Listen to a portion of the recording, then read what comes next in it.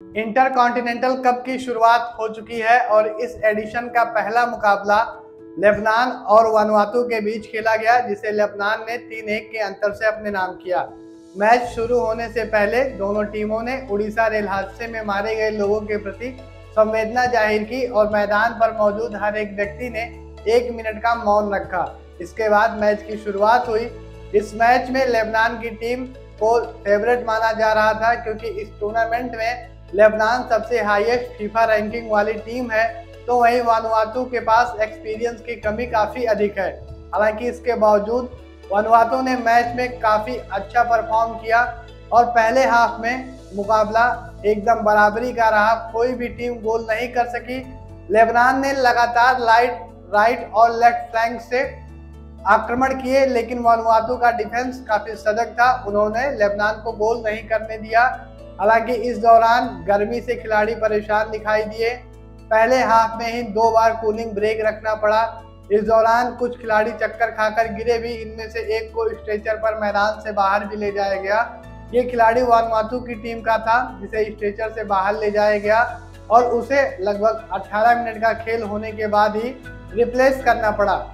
हालाँकि इसके बाद जब सेकेंड हाफ़ शुरू हुआ तो गर्मी थोड़ी कम हुई और इसके बाद दोनों टीमों ने अपने खेल में थोड़ी बेहतरी दिखाई। उनसठवें मिनट में लेबनान ने पहला गोल दागा। ये गोल कॉर्नर किक पर आया था। इसके एक ही मिनट बाद वानुआतू ने भी इसका शानदार जवाब दिया। बॉक्स के बाहर मिली फ्री किक को चिपिन के द्वारा बॉक्स के अंदर भेजा गया, जिसे लेबनान के गोलकीपर ने बचा तो लिया, लेकिन रिबाउंड पर वानुआतू को गोल करने से नहीं रोक सके। इसके लगभग 10 मिनट के बाद लेबनान ने फिर से गोल किया और दो एक से बढ़त हासिल कर ली अब इसके बाद लेबनान का दबदबा साफ़ तौर पर देखने को मिल रहा था। लेबनान ने दिखाया कि वो क्यों इतनी अच्छी रैंकिंग वाली टीम है और उन्होंने लगातार वानुआतू की अनुभवहीनता का फ़ायदा लिया। लेबनान ने इसके बाद पचासीवें मिनट में पेनल्टी किक हासिल की। इस पर दारविश ने गोल दागा। दारविश वही खिलाड़ी हैं जिन्होंने पहले हाफ़ में गोल करने के कई मौके गंवाए थे। कई, एक तो ऐसा मौका भी था जब एकदम ओपन गोल में वो अपने शॉट को टारगेट पे नहीं रख पाए थे। आपको बता दें कि ये दारविश का लेबनान के लिए पहला गोल है।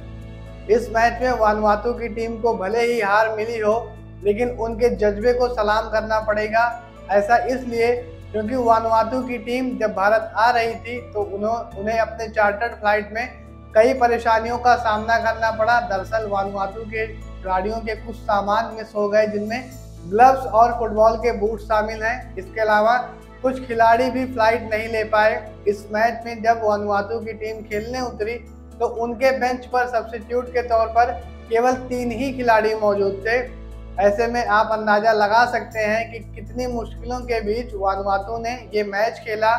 लेकिन इसके बावजूद उन्होंने कहीं से भी इस बात का अंदाज़ा नहीं होने दिया कि उनके पास अनुभव की कमी है या फिर ये टीम हालिया समय में ऐसी कुछ परेशानियों से गुजरी है। अगर आपको ये वीडियो पसंद आया हो तो इसे शेयर और लाइक करें।